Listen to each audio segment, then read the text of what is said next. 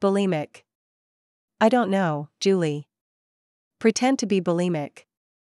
Gag a little.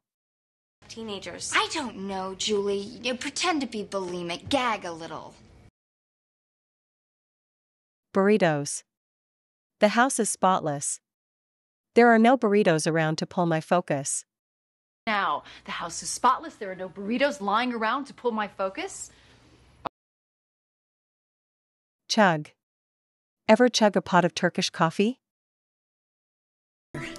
Ever chug a pot of Turkish coffee? Euthanize. We believe that animals should only be euthanized as a last resort. Kids. And we believe that animals should only be euthanized as a last resort. Guacamole. Wow, this guacamole has got a kick. Wow, this uh this guacamole has got a kick. Hatchback. But since I'm here, do you still have that hatchback sitting in your garage? But since I'm here, do you still have that old hatchback sitting in your garage?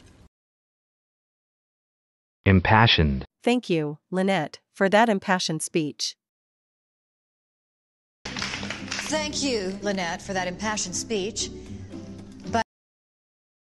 Potion. Luckily for Lynette, she had a magic potion handy. Luckily for Lynette, she had a magic potion handy. Prude. Do you see me as some sort of prude who just lays there like a cold fish? Yeah. Is that how you see me? Prude. Do you see me as some sort of prude who just lays there like a cold fish? Yeah. Is that how you see me? Quiche. I have to make 25 mini quiches for my book club.